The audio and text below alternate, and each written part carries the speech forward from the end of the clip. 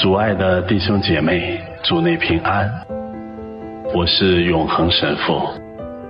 今天是金口圣若望的纪念日，我想跟大家一起分享圣人的故事，希望有助于我们的信仰。圣若望因口才出众，能言善辩，所以后人称他为金口。其实，圣人杰出的德行和爱主的虔诚，更值得我们钦佩效法。公元三四七年，金口圣若望在叙利亚的安提阿诞生，母亲是一位贤淑的寡妇，热心敬主。圣人自幼得到名师指导。擅长辞令，圣人度了六年隐修生活，于公元三八六年晋升铎品。那时圣人年约四十岁。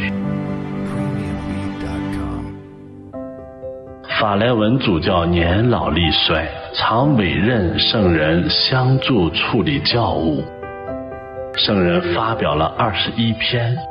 论律令的巨著，圣人的辞令和才学从那时起转入一个新的正线，成为东罗马的一股主要力量。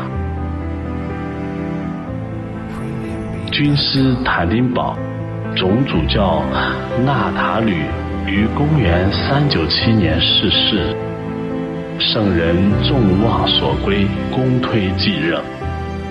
当时因怕圣人晚辞不救，就请圣人赴郊外朝圣。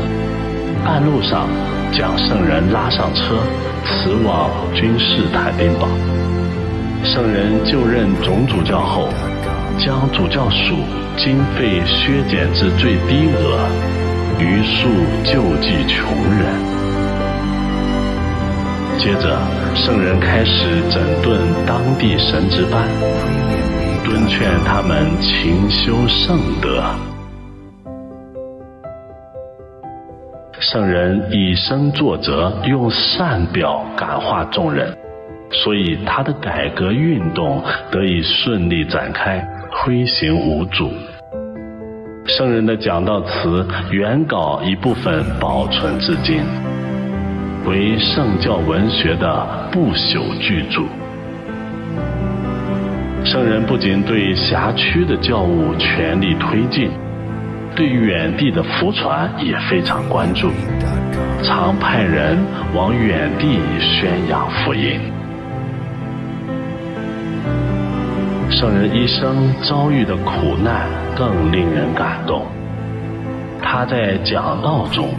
触怒了厄特克西皇后，皇后怀恨在心，与亚历山大总主教德奥菲吕密谋，要放逐圣人。德奥菲吕于公元四零三年召集主教会议，捏此诬陷圣人，宣布将圣人放逐。圣人用合法程序，也召集了一次主教会议，坚持严正的立场。德奥菲吕将放逐的决议呈报皇后，皇后立即下令驱逐圣人出境。这道诏令在君士坦丁堡顿时引起骚动。圣人在讲道台上当众宣布，坚决为正义奋斗到底，万死不辞。他说道：“我也不为死亡，因为死亡是有利于我的收获；我也不为流放，因为普天之下莫非主土；我也不为财产的没收。”因为金钱原是身外之物，生不带来，死不带去。过了一个时期，圣人主动退居比地米，但他一走，即发生强烈地震。皇后大惧，虽请圣人返任。德奥菲吕大感狼狈，深夜悄然离城。好景不长，不久圣人又遭遇新的灾难。皇后在君士坦丁堡大堂门口建了一座银像，举行揭幕典礼时。堂外百戏杂陈，狂欢作乐，若干娱乐节目含有迷信色彩。圣人不甘缄默，公开直言指责。皇后大怒，再度发动驱逐圣人的礼敬。圣人表示绝不放弃基督的羊群。三里期，信友聚集教堂，皇帝派军队以武力驱逐信友，酿成流血惨案。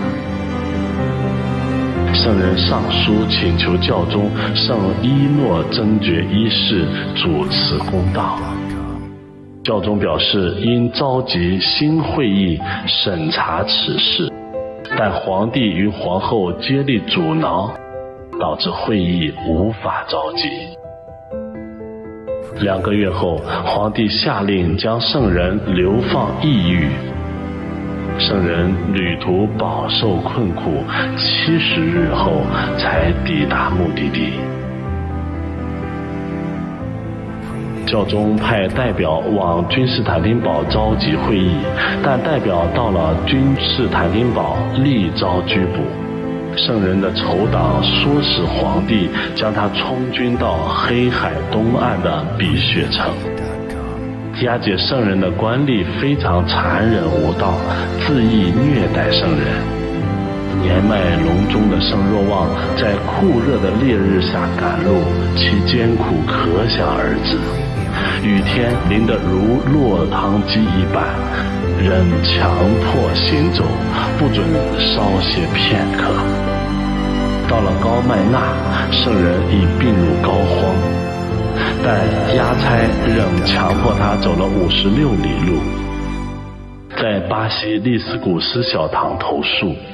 夜间，圣人在朦胧中似乎见圣人来慰问他说。兄弟，拿出勇气来，明天我们便要相会了。次日，圣人奄奄一息，求押差稍缓启程。押差不肯，但走了四里路，发觉圣人已到弥留之际，才将他送回圣巴西利斯古斯小堂。圣人领受临终圣体后不久即离世升天。他最后一句话是：“愿光荣归于天主。”在公元四零七年九月十四日光荣十字架展礼。公元四三八年，圣人的遗体迎回君士坦丁堡。迫害圣人的皇后已死。他的儿子是一位贤君，他与他的姊妹圣伯利亚两人亲自参加迎接行列，以示致歉。圣若望与圣巴西略、圣俄我略纳齐昂、圣亚纳大萧并列为东方教会四大圣师。所遗著作极其丰富，多属关于圣经的批注，令人百读不厌。教宗圣比约十世册封他为宣讲圣道者的主保。阿门。